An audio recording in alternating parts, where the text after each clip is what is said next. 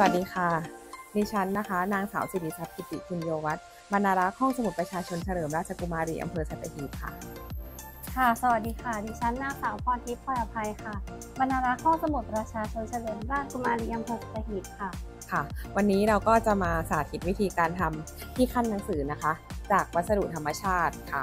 เดี๋ยวเรามาดูกันนะคะว่าวัสดุมีอะไรบ้าง ค่ะ แรกนะคะ ตอกไม้ไผ่ค่ะ ค่ะ แล้วก็จะเหลาจากตอกไม้ไผ่นะคะ จนมันเป็นแผ่นบางๆแบบนี้ค่ะอันต่อมานะคะสติกเกอร์น้อง Furby ค่ะ อันนี้ก็ใช้กระดาษนะคะ ตัดได้ให้เป็นรูปอะไรก็ได้แล้วแต่เรา แต่ตอนนี้ตัดเป็น Furbyไว้ค่ะต่อมานะคะกาว UHU ค่ะ กาวสารพัดประโยชน์ค่ะ ใช้กาวอะไรก็ได้นะคะ ที่มันมีค่ะ ค่ะ แล้วก็กันไกรค่ะ วัสดุมีเพียงเท่านี้ค่ะ เดี๋ยวเราจะมาดูวิธีการทำนะคะ ว่ามีขั้นตอนยังไงบ้างค่ะ เริ่มต้นนะคะ เราจะเลือกตอกไม้ไผ่นะคะ ที่แบนๆบางๆแบบนี้นะคะ แล้วก็จะมาทับเป็นรูปดาวแบบนี้นะคะนี่ขั้นแรกนะคะเราจะกำหนดขนาดตรงนี้นะคะ เพื่อที่จะเอาไว้คีบหนังสือของเรานะคะ แล้วก็จะพับน้องลงมาอย่างนี้นะคะ เป็นรูปดาว แล้วก็ขนาดตรงนี้นะคะ ประมาณ 2 ข้อนิ้วมือของเราค่ะ 2 ข้อนิ้วก็จะประมาณนี้เนาะแล้วก็พับลงมา เสร็จแล้วมันจะเป็นสามเหลี่ยมแบบนี้นะคะ ตรงนี้ก็ให้เท่ากับ 2 ข้อนิ้วมือของเราเหมือนกันนะคะ เพื่อที่จะได้ขนาดแชร์ของดวงดาวเนี่ยเท่ากัน เสร็จแล้วนี่พอพับขึ้นมาใช่ไหมคะ เราก็ใช้ตอกเส้นนี้ขัดเข้าไปข้างบน แล้วก็ 2 ข้อนิ้วมือเหมือนกันค่ะ เพื่อที่จะให้แฉกของดวงดาวเท่ากัน นี่นะคะนี่แล้วก็เอาเส้นนี้นะคะ ขัดลงมาข้างล่าง เหมือนการสานนะคะ แต่ว่าอันนี้จะเป็นแบบง่ายๆ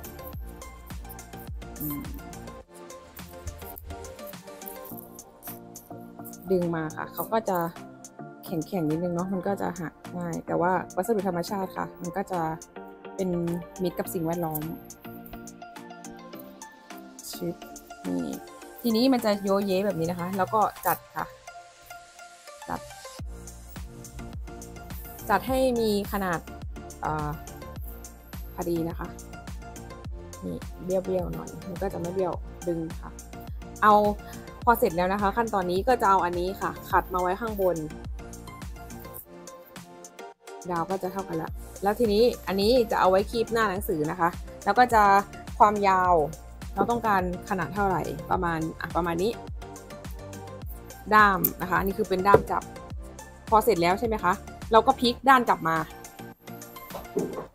พอพลิกด้านกลับมา มันก็จะเป็นอย่างนี้หน้าตาแบบนี้ พอเสร็จแล้วนะคะ เราก็จะติดตัวการ์ตูนนี่จะลองใช้กาวอันนี้เนาะที่น่าจะมีกัน ทุกบ้านนะคะ เปิดออกมา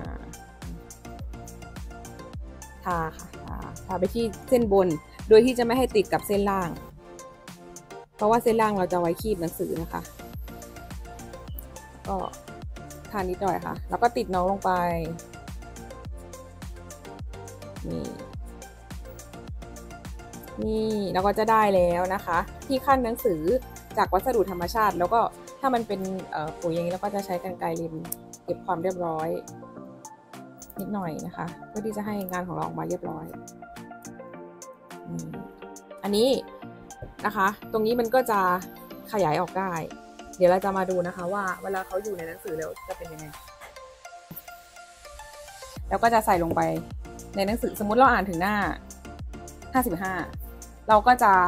เอาวางไว้ แต่ทีนี้ตรงนี้ก็จะหลุดไป ตรงนี้มันมีที่ขั้นใช่ไหมคะ ที่หนีบไว้ เราก็จะเอาตัวนี้แหละ หนีบ หนีบหน้าที่เราอ่านไว้ ชิงนี่ น้องก็จะอยู่เป็นหน้าตาแบบนี้ค่ะ น่ารัก เสร็จแล้วเปิดมาก็จะเจอจ่าเอกกับน้องนะคะ แล้วเราก็ พับน้องไว้ เพราะมันก็จะบางไม่ทำให้หนังสือของเราเสียหาย นี่ค่ะ เสร็จแล้วค่ะ ที่ขั้นหนังสือจากวัสดุธรรมชาตินะคะ ยังไงก็ลองไปทำกันดูนะคะค่ะสำหรับช่องทางติดต่อนะคะ ห้องสมุดประชาชนเฉลิมราชกุมารีอำเภอสัตหีบนะคะก็อย่าลืมติดตามนะคะ ได้ที่เพจ Facebook ห้องสมุดประชาชนเฉลิมราชกุมารีอำเภอสัตหีบจังหวัดชลบุรีแล้วก็ติดตามข่าวสารของเราได้ที่แอปพลิเคชันสัตหีบคอนเน็กค่ะค่ะรอบหน้านะคะ ห้องสมุดประชาชนเฉลิมราชกุมารีของเราจะมาประดิษฐ์อะไรให้ดูอย่าลืมติดตามในตอนต่อไปนะคะบ๊ายบาย